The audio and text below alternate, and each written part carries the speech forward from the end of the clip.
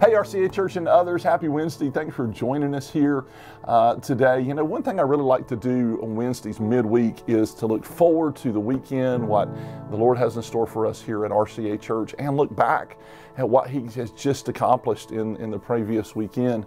And, you know, I spoke a message on Sunday entitled The Soul Room.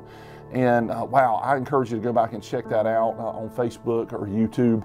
And it's, uh, just kind of on the principle that we all have a house with the same square footage, and that's an analogy of our life. And what I mean by square footage is we all have the same uh, number of days in the week, seven days a week, 24 hours a day. We all have the same access uh, to God through the Lord Jesus Christ. We're all on an equal footing, but all of our houses have different floor plans.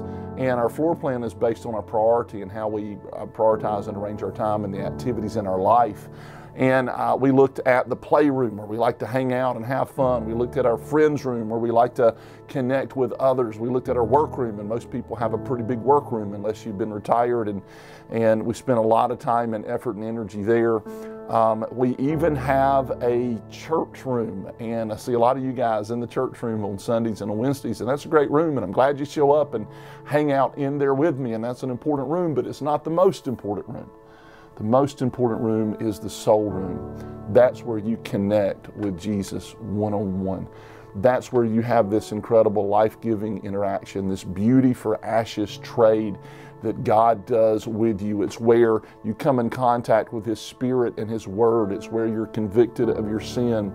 It's where divine direction and wisdom and comfort are given. It is the place of connection that we all must have with our Creator. I want to ask you a question. How does your soul room look? Maybe you've got things going on in all the other rooms. Maybe your church room is decorated really nicely. But how is the soul room? Is it bare? Is it small? Is it is it neglected? Is it forgotten? Uh, is is the door to it locked? Is the last time you've been in there years ago? Uh, I just want to tell you, the soul room is where all the power flows from and and through into all the other rooms of your life. You know, if you look at a ranch house, it's kind of cut up and, you know, you've got all these rooms in different places. But if we order our lives with the soul room at the center and all the other rooms around it, that is going to be a powerful life. I just want to challenge you and encourage you.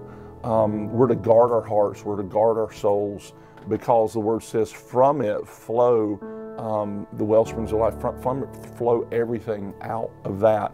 And so, my challenge to you this week is to look at your life and look at your soul and the condition of your soul. And are do you have a life giving connection with Jesus Christ? And if you don't, to get into your soul room, to establish that as the centerpiece, the, the thing of gravity that holds everything else in orbit in your life, and put the Lord first, and then let everything else fall into place.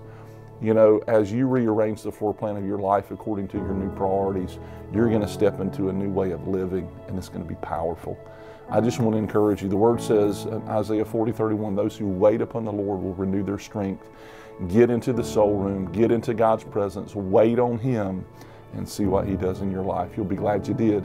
And I hope you'll join us tonight at 7 p.m. right here at RCA Church for the best night of the week. We got something great for kids and youth and adults. Join us here then. We'll see you soon.